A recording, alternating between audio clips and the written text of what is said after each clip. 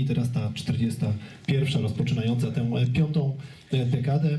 Ten bieg to jest rzeczywiście olbrzymie wydarzenie, kawał pięknej biegowej historii nie tylko Warszawy, ale również Polski, ale bieg, który organizowany przez Fundację Maraton Warszawski jest tak wielki, jest tak mocny i będzie tak wspaniały dzięki e, wsparciu sponsorów i partnerów. Sponsorem tytularnym jest PZU, jeżeli chodzi o e, sponsorów dodatkowych e, firmy New Balance i Bridgestone, partnerami DPD, Cechini Muszyna, marki Fiat, Calypso, Izotonic Formów, firma Deloitte, Acreo, Polskie Linie Lotnicze LOT, Dr Łokieć oraz współpracująca od 9 lat agencja PR z Fundacją Maratonu Warszawskiego Partner of Promotion. Patronami medialnymi wydarzenia są TVP Sport, Przegląd Sportowy, Onet, Weszło, Magazyn Bieganie oraz Radio SK. Wydarzenie dofinansowane jest ze środków Ministerstwa Sportu i Turystyki oraz Miasta Stołecznego Warszawy, które od wielu, wielu lat e, wspiera organizację tych wydarzeń półmaratonu, maratonu warszawskiego i Fundacji Maraton Warszawski, nie tylko organizacyjnie, również finansowo. Nim przejdziemy do y, naszego filmu dokumentalnego, sportowego, poświęconego maratonowi warszawskiemu, y, oczywiście będziemy rozmawiać z osobami, które współtworzyć będą tę 41. edycję maratonu warszawskiego. Zapraszam więc y, panią Joannę Gorczycę, dyrektora Biura do Spraw Prewencji CSR PZU oraz Marka Truninę, dyrektora 41 PZU Maratonu Warszawskiego. Mogą być brawa, tak. Mikrofoniki włączymy dla pani Joanny. Wszystko działa.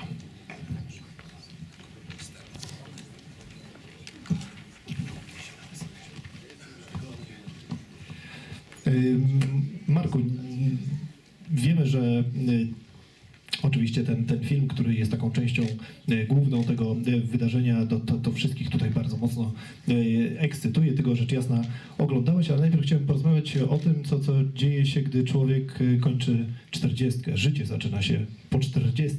Więc jakie wy jako Fundacja Maraton Warszawski stawiacie sobie cele na tę nową dekadę? Dziękuję wszystkim za przybycie. Tak, zanim zacznę odpowiadać na Twoje pytanie, myślę, że od tej pory będziemy co roku kręcić film o maratonie, bo pierwsze świetna sceneria tej sali kinowej, po drugie, po drugie prawie pełna sala. Yy, no, myślę, że dla nas najważniejsze jest to, żeby nie zostać w tyle, to znaczy, żeby obserwować yy, błyskawicznie, błyskawicznie zmieniający się świat, yy, bo tych wyzwań, które są wokół nas związanych z organizacją imprezy, ale też z funkcjonowaniem po prostu w społeczeństwie, jest na tyle dużo, że bardzo łatwo coś stracić. I mówię tutaj o tym tylko, żeby być obecnym w mediach społecznościowych, bo to już to powoli zaczyna już przebrzmiewać, e, tylko żeby sprawiać, żeby ta impreza czuła rytm miasta, że tak się wyrażę, ale też czuła ten rytm świata. E, I myślę, że to jest najważniejsze.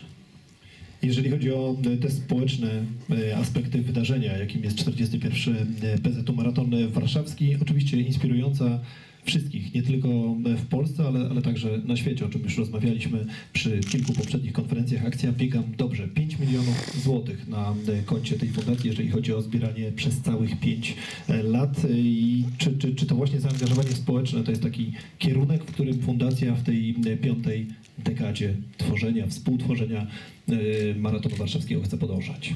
Bez wątpienia. Y, to jest tak, że oczywiście to jest bardzo fajna liczba, y, choć moim, naszym marzeniem w ogóle jest to, żebyśmy taką liczbę generowali w czasie jednej edycji biegu.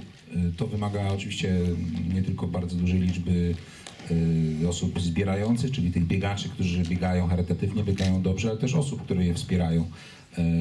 Czyli uruchomienia po prostu bardzo dużej machiny komunikacyjnej. To nie jest łatwe, bo to, to się wiąże też oczywiście z dużymi nakładami finansowymi, natomiast cały czas powtarzam i będę powtarzał, że maraton musi mieć wiele wymiarów po to, żeby mm, jego funkcjonowanie w społeczeństwie, tej tkance miejskiej czy tkance społecznej w ogóle mm, miało rację bytu, żeby było czymś więcej, żeby maraton był czymś więcej, znacznie więcej niż tylko przebieraniem nogami.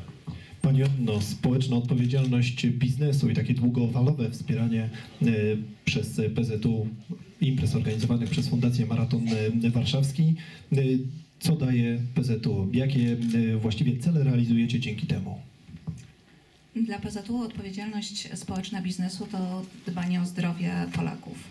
Dzięki współpracy przy programach biegowych Wierzymy, że Polacy będą częściej się ruszać, będą bardziej zdrowi, będą e, żyli też 10 lat dłużej. To nasze wyzwanie, które sobie e, ostatnio postawiliśmy jako taki cel długodystansowy.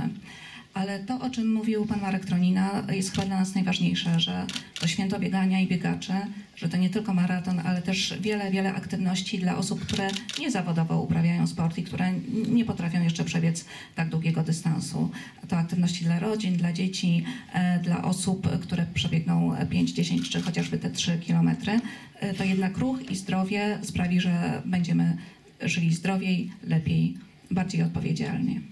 Podczas e, Expo, które odbędzie się w piątek i w sobotę, e, w, w te dwa dni przed e, startem 41. PZU Maratonu Warszawskiego, przygotowali Państwo pewne stanowiska i atrakcje właśnie dla ludzi, żeby mogli troszeczkę się przebadać, sprawdzić, dowiedzieć, co, jakie to będą stanowiska medyczne i jakich konsultacji ludzie będą mogli dzięki Wam zaznać.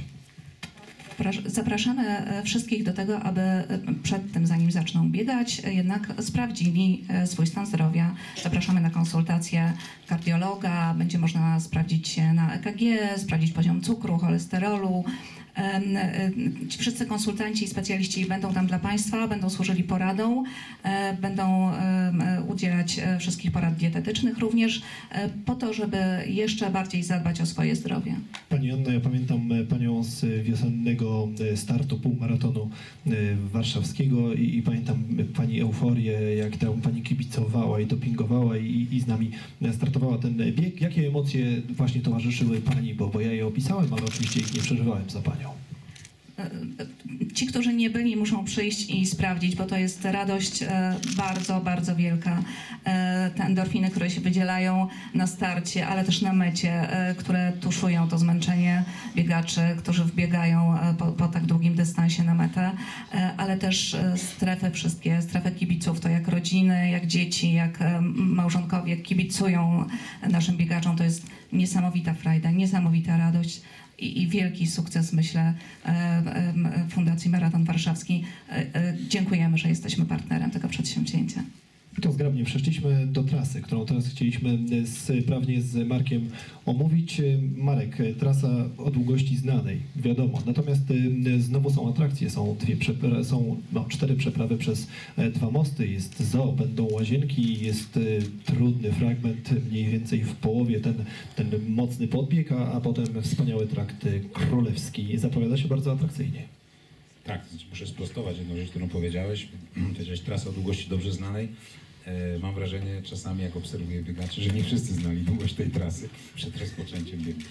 E, Trasa jest prawie taka jak w zeszłym roku. Prawie, bo troszkę zmieniliśmy tych kolejność niby pętli, które mm, żeśmy w zeszłym roku wyrysowali. Natomiast co jest dla nas bardzo ważne, to to, że mm, ta trasa ubiegłoroczna, a więc i tegoroczna, bardzo się spodobała biegaczom.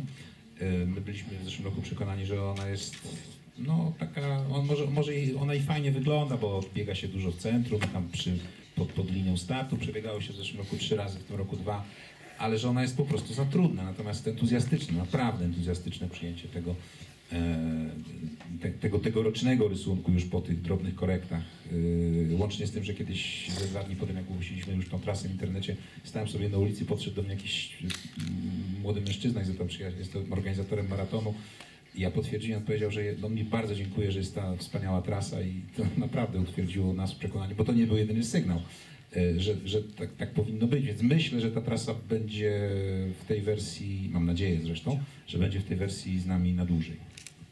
Dziękuję bardzo. Przede wszystkim pożegnamy teraz Panią Joannę Gorczycę. Wielkie, wielkie brawa, podziękowania.